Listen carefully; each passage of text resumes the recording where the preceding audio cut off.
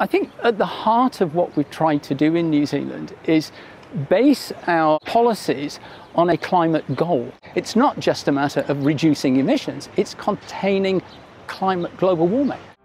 In this series, Reducing While Producing, we take you on a virtual farm tour to look at how the New Zealand agricultural sector is responding to the challenges of climate change and working to reduce greenhouse gas emissions by increasing on-farm efficiency and producing more sustainably.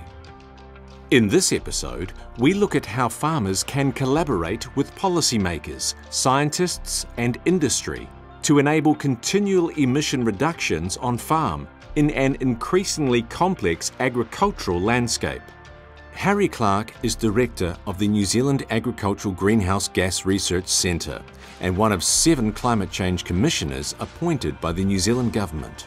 New Zealand is very unusual as a developed country in that it's an agricultural economy still, which is reflected in its greenhouse gas profile. When we look at carbon dioxide equivalent emissions, when we turn all gases into this common currency of carbon dioxide, about a half of our emissions come from agriculture.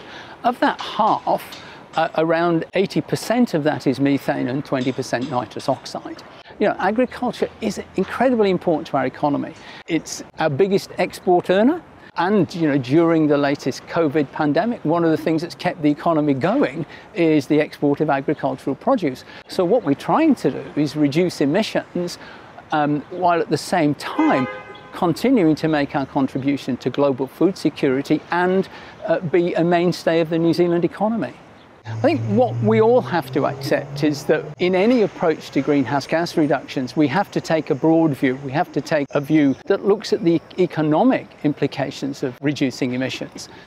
What we are doing is adopting a slightly different approach. We have a net zero approach for the long-lived gases like carbon dioxide, but we have a separate target for the short-lived gases like methane.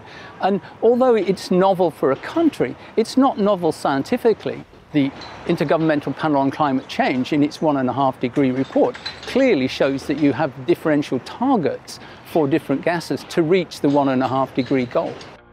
Collaboration and partnership is key to New Zealand's response to the climate challenge. We're bringing producers, industry and policymakers together to develop and implement innovative and practical initiatives He Waka Eke is a partnership between the government, the agriculture sector and Māori. And the mission for the partnership is to reduce greenhouse gas emissions from the agriculture sector and increase the agriculture sector's resilience to climate change. The partnership intends to do that by equipping farmers and growers with the tools and support that they need to reduce, manage and measure their greenhouse gas emissions and increase, maintain and recognise their sequestration and adapt to a changing climate. And doing all this in the context of a profitable and sustainable food and fibre sector within the context of a competitive international market. Eke Noa is a Māori whakatauki proverb and it means we're all in this together. It is a well used whakatauki but it is important and does capture the essence of the, the Primary Sector Climate Action Partnership because we can only achieve the milestones and the objectives uh, and the mission if we all pull in the same direction. Farmers like Karen and Mick Williams are innovating to improve their on-farm practices with the support of research, investment and policy change. Farmers are very adaptable people and we're always confronting challenges, but we need a pathway to recognise, um, firstly, what is what are our emissions? What, what's my number out here when I look at my livestock component and the and the methane emissions? He Noa will give me as a farmer some some tools to use so that I can identify that and then we can look at mitigation strategies and ways that we can start to ramp back those emissions. And that'll be in lots of you know investment in, in research that'll help us do that. And there'll be ways that we'll need to adapt and change and think about things differently. Yes, we need to reduce our emissions. Yes, we need to continue to produce good, sustainable, healthy food. So somewhere there is a sweet spot, and I want to help He Waka Eke find that Measuring and mitigating greenhouse gas emissions on farm has its challenges. The key challenge to measuring greenhouse gas emissions on farm is that there's no practical way to actually measure greenhouse gas emissions on farm. So we're reliant on tools to estimate and to model those greenhouse gas emissions. There are a number of tools out there, and at the moment, He Waka Eke Noa is doing work around the robustness of those tools. So the key challenge to mitigating greenhouse gas emissions on farm is that there's no one size fits all. New Zealand farming systems are so diverse, diverse within sectors and across farming types. And added into that, um, Māori land ownership has its um, other complexities. What's important as He Waka Eke Noa develops this framework to support emission reductions is that farmers are given the, the opportunities to choose the mitigations that work for their farming system and work for their farming system in the context of the other drivers that they are facing, such as um, drivers to improve freshwater quality, uh, drivers to uh, respond to biodiversity, and all within the context of a profitable farming system. Giving farmers a strong voice within the climate change conversation is important. Farmers need to be at the table and contributing their insights and their experience in running their farming businesses because they are complex and large scale businesses with many levers and many balls in the air at one time and so many variables that we deal with, including the weather. Not far from Karen and Mick's arable farm, dairy farmer John Stevenson has found the value of giving everyone a voice and collaborating to agree on solutions can't be underestimated. The collaboration between researchers and farmers and policymakers is absolutely critical going forward. It's something I feel really passionate about because there are intricacies in terms of how decisions and regulation are able to be implemented on farm. There are requirements in terms of what policymakers need to achieve from a national perspective, but there are also the collaboration between what our scientists are going to deliver us and farmers' ability to do that on farmers is absolutely critical. One of the unique things about New Zealand farming systems is that we don't have any subsidies from government around how we produce our products, so there needs to be alignment around our sustainability goals and what our customers are willing to pay. And at the moment, there is an increasing alignment around that, and that really helps with getting farmers on board with this climate change and environmental sustainability journey. For us, in terms of the ultimate outcome for collaboration is realistic implementation. If we can deliver a solution on farm which achieves our climate objectives, that's absolutely what we will try and do. It's what our markets want.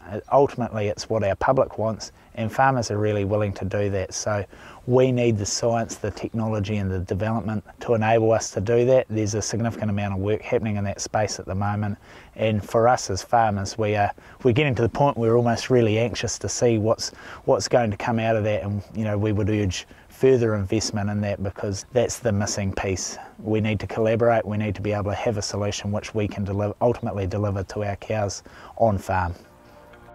Richard and Wendy Ridd run a 260 hectare dairy farm in the Manawatu. From their perspective, collective intelligence and effort is needed as the complexity of the challenge to continue making reductions increases. We shouldn't be taking siloed approaches. You know, we shouldn't be sitting in our own countries working out what we need to do. We need to take a collective view, look at the natural resource, and make some decision making around that, and support agriculture and grow food in this country that is the most efficient in the world at doing it. Farmers have been on the journey for a number of years. So many farms have made system changes or picked the low hanging fruit out of their system to make better decisions for our environment, profitability, that's where they go hand in hand. Now we're getting to a stage that we are operating as a whole really good efficient systems here in New Zealand. So our changes are becoming a lot more complex to understand and that we need to be aware of where our farmers actually sit at an efficiency level to make sure that we're not going to compromise profitability and obviously our environmental impact. And it's also about farmers appreciating and understanding policymakers' roles as well. We don't really have the opportunity to do that if we can't meet in the middle ground somewhere or come out to the farm. It's a good place to start. On one hand, a holistic approach to mitigating environmental impact will help most. We look at the environment holistically. It's so interconnected, and, and one thing that we can't fall into the trap of is, is fixing an issue with biodiversity without considering that impact on water quality or soils or our emissions. Collectively, industry, government, um, Māori all need to be kind of aware of that in, interplay and make sure that any decision we make also explores the impacts on those other components. On the other hand, every farm has its own individual challenges and opportunities for improvement. One solution for all isn't necessarily the best way forward. I think as we look to face our climate challenges as a nation going forward, I'm firmly of the belief that we need to look at livestock reduction at a catchment level because every farm may not have the same characteristics as what we have here, and there may be a farm down the road that potentially is on the borderline of being suitable for dairy farming and can go into something else, or whether perhaps we can be a bit more innovative and therefore probably have better outcomes which make us more efficient farmers because I don't want to spread myself too thin by learning three or four other industries. I, I, believe that that would detract from our ability to be the very best dairy farmers that we can be.